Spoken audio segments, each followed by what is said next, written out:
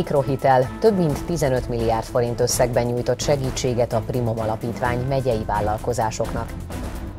Gyermekétkeztetés a Menza reformnak köszönhetően egészségesebb ételt kapnak a diákok az intézményekben. Közel fél milliárd forintos beruházás, határon átívelő projekt keretében új kerti fogadóval bővült a Mándoki Forgácskastély.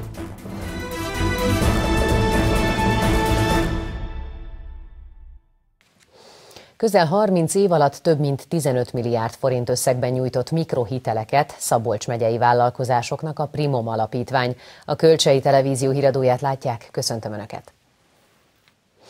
Jelenleg három konstrukció közül választhatnak a vállalkozások, ami azért is kedvező, mert a banki lehetőségekhez képest az igénylők hamarabb hozzájuthatnak a kölcsönhöz. A Szabolcs megyei szervezet hazánkban elsőként nyerte el az egységes standard alapján történő mikrofinanszírozásról szóló uniós tanúsítványt.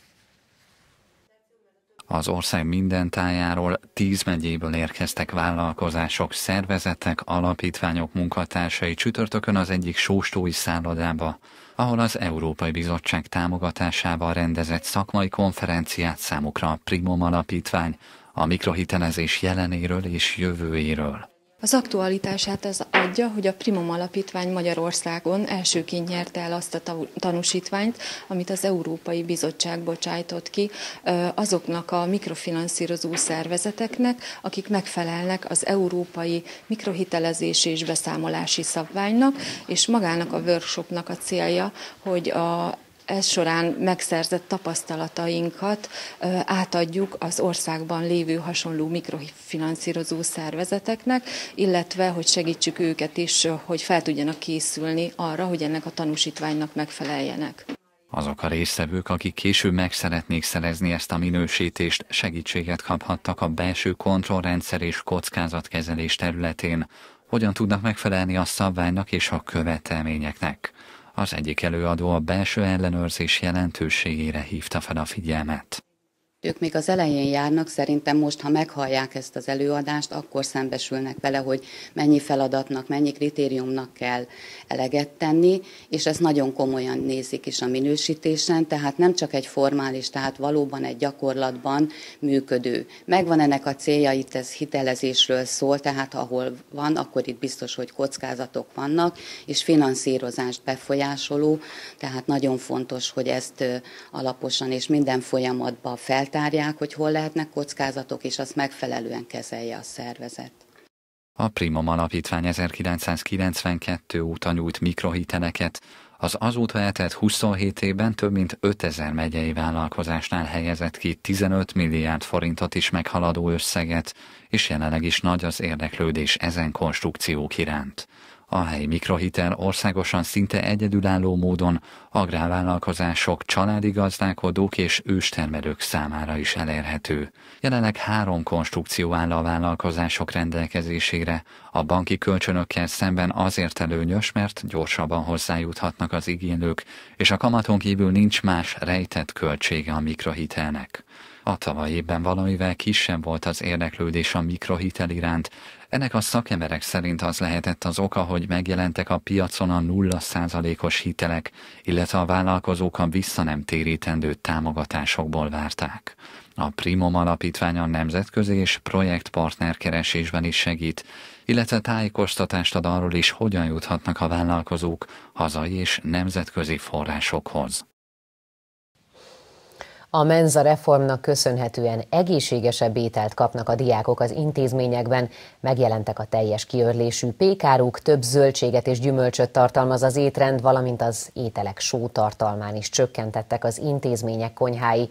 A megyei agrárkamara szeretné, ha a jövőben a kormány is szorgalmazná, hogy a konyhák helyi termelőktől vásároljanak alapanyagokat. Szabolcs megyében az alma, a káposzta és a karfiol is adott lenne. Pár évvel ezelőtt azért is volt szükség a menza reformra, mert egy felmérésből kiderült, a magyar felnőtt lakosság 65%-a túlsúlyos. Bár az elhízottak aránya az életkorral nő, már a gyerekek körében is elég magas, körülbelül 10-12 százalék. Ez okozhatja azt is, hogy már fiatal korban számottevő a keringési zavarral vagy cukorbetegséggel szenvedő diákok aránya. A 2015-ös Menza programban megjelentek a teljes kiörlésű pékáruk, több zöldséget és gyümölcsöt tartalmaz az étrend, valamint az ételek sótartalmán is csökkentettek. Tiltott lett a szénsavas és cukros üdítők felkínálása, és a magas, zsírtartalmú húskészítmények felhasználása is. Ezeket évek óta új konyha technológiai előírások betartásával kell biztosítani a szolgáltatóknak. Budai Péter mesterszakács egy nyíregyházi kerekasztal beszélgetésen kiemelte, a nébik által előírt szabályok betartásával valóban egészségesen étkezhetnek a gyermekek a menzán. Azt vallom, hogy egy egészséges ember azt teszik, amit akar, de csak mértékkel. Viszont a gyerekeknél van egy olyan probléma, hogy nem nagyon szeretik a zöldséget, ezért most itt olyan ételeket mutatok be, amiben nem áztatott zsömle vagy kenyér van, hanem mondjuk köles, vagy puliszka, vagy egyszerűen csak darált zöldségek, sárgarépa, zeller, zöldborsó, gomba. Azt kell mondani, hogy az elv az, hogy ha a gyerek nem szeret valamit, de párosítjuk egy olyan dologgal, amit viszont igen, és a fasírtot mindenki szereti, akkor, akkor ezt valószínű, nagy valószínűséggel megeszi. Ez az egyik. A másik ilyen étel csoport, amit készítettem a, a mai, mai napra, ilyen főzelékek, ami viszont se zsírt, se lisztet, se, és tejterméket sem tartalmaz mindegyik. Ez azért van, mert a mai világban egyre több embernek van valamiféle ételallergiája, és ezt is meg kell oldani. A modern közétkeztetés bevezetésére még 2011-ben adta ki egy új egységes rendeletet, amit 2015-ben vezettek be az intézményekben. Ez tartalmazza azt is, hogy a sófogyasztás a bölcsődében négyszeri étkezés során maximum másfél gram lehet, óvodában háromszor két gram, az iskolánál 2020-ig pedig 3,5 g-ra kell csökkenteni a mennyiséget. Karfiol, káposzta, alma, ezeket Szabolcs megyében akár a helyi termelőktől is beszerezhetnék a közétkeztetéssel foglalkozó intézmények.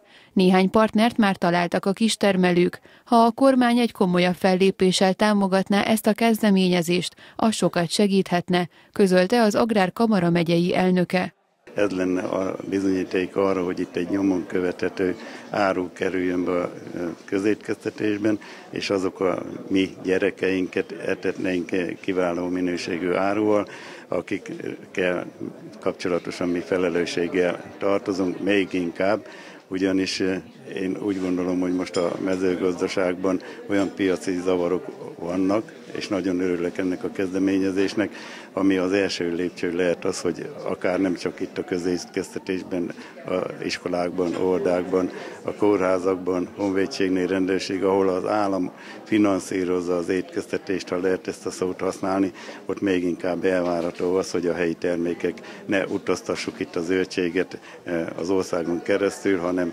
amire igény van, itt Szabolcs-Szatmár-Bereg megyébe is mindent meg tudunk termelni. Vinnai Győző országgyűlési képviselő kiemelte, az étkezés mellett a testmozgásnak is fontos szerepe van az egészséges életmód kialakítása érdekében. Mellette én mindig hangsúlyozom, hogy a mozgást is erősíteni kell, a mindennapos testnevelés is ezt szorgalmazza, úgyhogy a kettő együtt szerintem mára az elmúlt három-négy év alatt látható eredményeket mutat a gyerekek egészséges táplálkozása során. Nem beszélve arról, hogy én látom a 10 órait ezt az uzsonnát, mindig van iskolatej, iskolagyümölcs, vagy teljes kiörlésű péksütemény, ezek nagyon fontosak, és a tudatos étkezés szabályait alakítják ki a gyerekekben, de talán mondhatom azt, hogy a szülőknél és a családoknál is. És hogyha azt nézem, hogy a, az egyes települések itt a megyében, a közfoglalkoztatásban előállítanak egészséges gyümölcsöt és zöldséget, például uborkát vagy paradicsomot, paprikát termelnek, ezt felhasználják a felújított konyháikon, amelyből a közétkeztetést az óvodákban, iskolákban biztosítják, akkor azt látom, hogy jó úton járunk. A menzák felszereltségét és működését ezentúl új befőző automaták is segítik Nyírtelek, Gáva Vencsellő és Tiszavasvári településeken. 460 millió forintból épült kerti fogadó a Mándoki Forgács kastély udvarán. A beruházást egy határon átívelő Európai Uniós pályázat forrása biztosította. Ennek részeként a Galántai Eszterházi kastélyt is felújították. Az Európai Uniós fejlesztésekért felelős államtitkár az átadó ünnepségen úgy fogalmazott, ez a fejlesztés is bizonyíték arra, hogy hazánkban megfelelően használják fel a támogatásokat. A Mándoki Forgács kastélyt még 2015-ben újították fel, most a történelmi helyszín hátsó parkjában épült meg a mintegy 800 négyzetméteres kerti fogadó.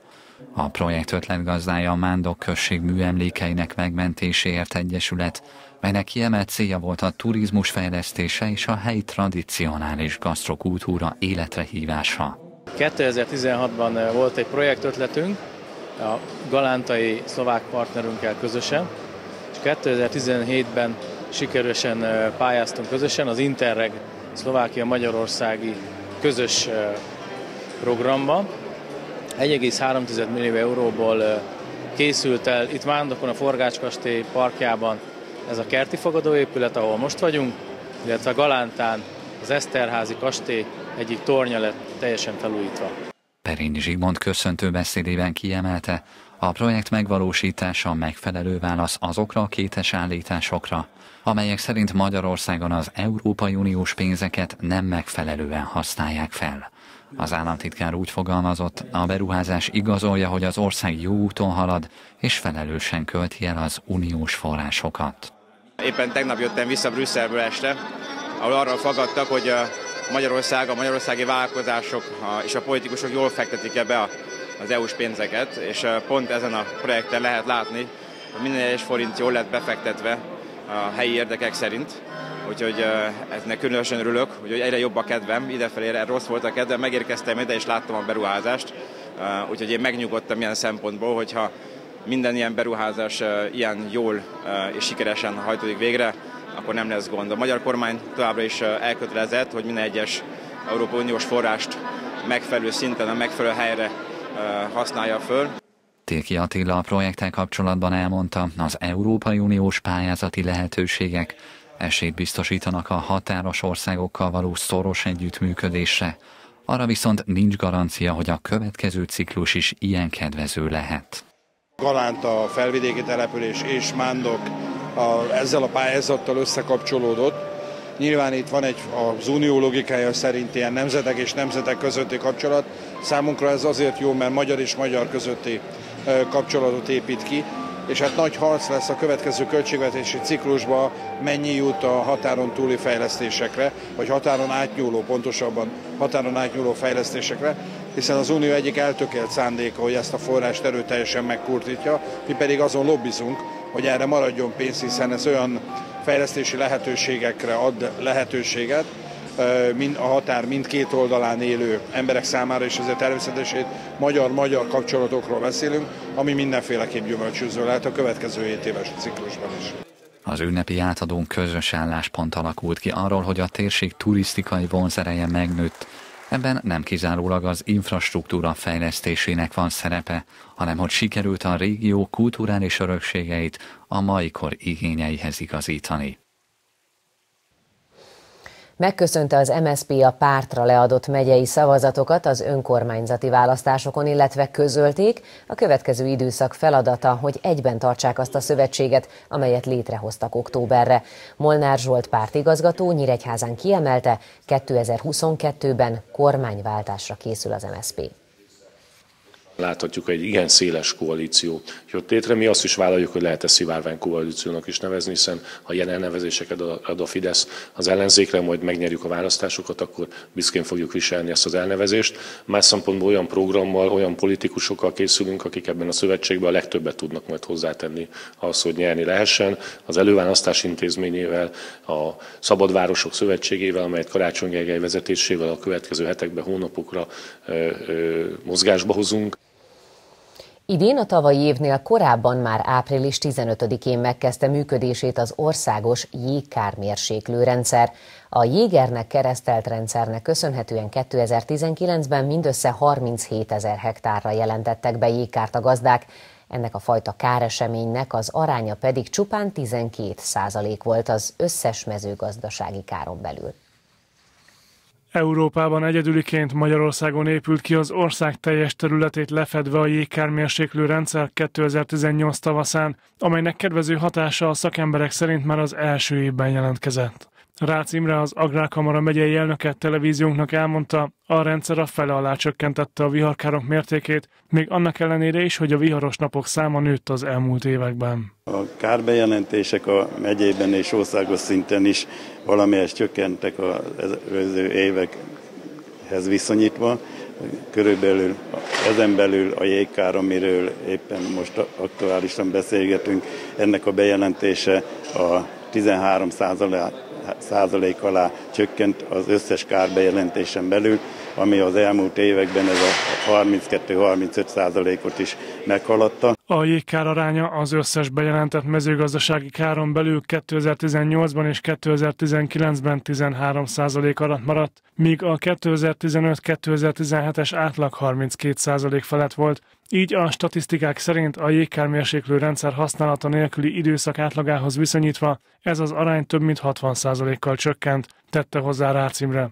Az elnök arra is felhívta a figyelmet, hogy közeledik a kárigények bejelentésének határideje. November 30-áig kell bejelenteni azt a kárigényt, ami hozamkiesést kiszámolnak, hogy esetleg a fagykár vagy a szájkára kapcsolatosan keletkezett mégis, vagy akár ugye százszázalékos védelmet nem nyújt ez a jégkármérséklő rendszer se, akinek ilyen kára keletkezett, az november 30-áig jelentheti be azt a káringényét, ami hozamkiesést ki tud mutatni. Rácz hozzátette, ehhez a kárt 15 napon belül be kell jelenteni, és a gazdáknak szeptember 15-ig be kellett fizetniük a kötelező biztosításokat is. A megállapított kár elszámolása várhatóan a jövő év elején történik meg.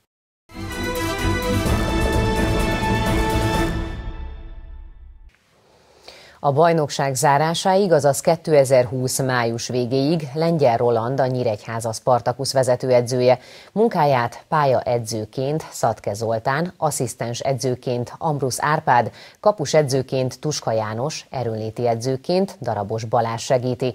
A Spari 16 fordulót követően a 14. helyen áll az MB2 tabelláján. A Siófoktól elszenvedett 6-1-es vereséget követően javított a Nyíregyháza Spartakusz, vasárnap a Szeged 3-1-es vereséggel távozott a Városi Stadionból. A hazaiak kispadján megbízott vezetőedzőként Lengyel Roland ült, akinek nem volt könnyű dolga, mivel sérülések és betegségek miatt nem számíthatott tíz játékosára. A héten aztán eldőlt, hogy a klub vezetése hosszabb távra is bizalmat szavaz a szakembernek, így a bajnokság végéig Lengyel Roland a szakmai munka első számú felelőse a Sparinál. Egy mérkőzésre voltunk megbízva, próbáltuk lehető legjobban lehozni ezt a mérkőzést, jól sikerült, a vezetőség úgy döntött, hogy nekünk tovább szavaz bizalmat. Tavaly azért voltunk ebbe a szerepkörbe, a 11 mérkőzésen irányítottuk a csapatot, a 19. helyen vettük át, és a 11. helyre vittük föl a csapatot. Azt gondolom, hogy az, az egy eredményes szezon volt. Most a 18. helyen volt a csapat, most is próbálunk minél jobb eredményeket elérni ebbe a fél szezonban, ebbe az öt mérkőzésben, ami van hátra. Lengyel Roland mellett az asszisztens edző Ambrus Árpád, a kapus edző Tuska János, az előnléti edző Darabos Balázs és a pályaedző Szatke Zoltán alkotja a szakmai stábot. A Sparit játékosként, majd edzőként évtizedek óta szolgáló szakember szerint mindenképpen előre kell lépni a csapatnak. Azt hiszem, hogy egyértelmű, hogy nincs valami jó szinten most annyira egyházi labdarúgás. Célunk az, hogy ezt megváltoztassuk. Reményeink szerint én azt gondolom, hogy most azért a stáb is egy helyi kötődésű vezetőegyzőtől kezdve egészen a, a segítőkig, és ez remélem, hogy ez egy pici pluszt ad, hiszen nekünk is szívügyünk a nyíregyházi labdarúgás, vissza kell csalogatni a közönséget, vissza kell csalogatni a B közepet, aki plusz egy ember minden mérkőzésen. Azt hiszem, hogy saját bőrünkön tapasztaltuk meg az ő segítségüket annó, és nagyon nagy szükség van rájuk, és természetesen a játékosnak is az önbizalmát helyre kell állítani, hiszen ezek az elmúlt mérkőzések biztos, hogy hagytak nyomot. Az NB2 tabelláját az MTK Budapest vezeti 36 ponttal megelőzve az egyaránt 31 pontos Budafokot és Csákvárt. A Nyíregyháza Spartakusz 16 ponttal a 14. helyen várja a folytatást. A Spari az őszi szezonban még a Szolnok, a Csákvár, a Budaörs, a Dorog és a Vác ellen lép pályára. Már a Nyíregyházi Városi Jégpályán készülnek Kercsú Árpád mesteredző irányításával a Szabolcsi Solymok fiatal jégkorongozói. Ebben a szezonban a 8, a 10, a 12 és a 14 éves korosztályban indít csapatot az Egyesület, és közben az Ovikori program segítségével szeretnék megduplázni a játékosok számát. A Szabolcsi solymok fiataljai már augusztus végén elkezdték a felkészülést, a Debreceni edzőtáborban elsősorban azt fényte fel Kelcsó Árpád szakmai igazgató, hogy milyen szinten vannak a gyerekek. Azt követően többször is új helyre utaztak az ifjú hokisok, amióta pedig megnyílt a Nyíregyházi városi jégpálya, már hazai jégen edzenek a solymok. A mesteredző a napi két órás tréningeken igyekszik átadni tudását a fiataloknak, akik lelkesen gyakorolják a különböző technikai elemeket. Van egy pár gyerek, aki óriásit fejlődött, meg úgy összességében ez a szint már nem az a szint, ami volt, de ugye én akkor is arról beszéltem, meg most is arról beszélek, hogy én azt szeretném, hogy a nyíregyházi jelenlegi kisgyerekeket, akik vannak egy páran, és akiket ki fogunk válogatni, azok az ország első két-három egyesülete szintjén kell, hogy legyenek, és biztos vagyok, hogy előbb-utóbb a legjobbak is leszünk, azokkal természetesen lentről fel kell építkezni, ez nem egy egyik napra a másikra. Jelenleg közel 50-en járnak az edzésekre, ezt a számot szeretné legalább megduplázni Kercsú Árpád. Az ovikori programnak köszönhetően sokan húznak korcsolyát, ami az első lépés a jégkorongozás felé vezető úton.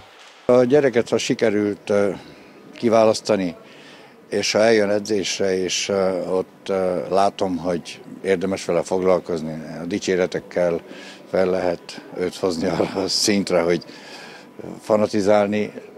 Hát elsősorban fanatizálni kell a családot, apukát, anyukát, gyereket, de a gyerek a fontos, és hogyha úgy érzi, hogy sikerélménye van, akkor onnantól kezdve akkor alkotunk egy, egy egyesített, és nevezhetem bárminek erőt, és akkor onnantól kezdve ez a gyerek már megmarad, és tényleg bármit el lehet vele érni.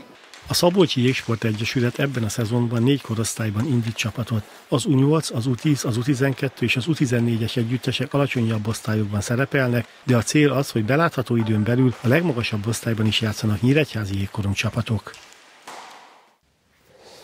Önök a Kölcsei Televízió híradóját látták november 14-én csütörtökön. Friss hírekkel legközelebb holnap este várjuk majd Önöket. Tudósításainkat addig is visszanézhetik a weboldalunkon.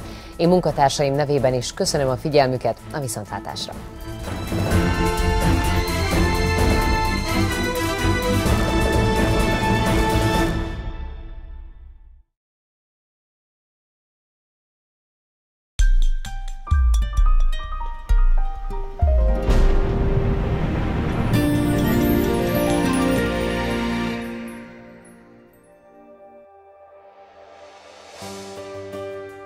Csütörtök este erősen felhős vagy borult lesz az ég, páres lesz a levegő, éjszaka köd is képződhet. Esőzápor egyaránt előfordulhat. A változó irányú szél majd a délkeletire forduló szél gyenge vagy mérsékelt marad. A legalacsonyabb éjszakai hőmérséklet 8 és 12 fok között alakul.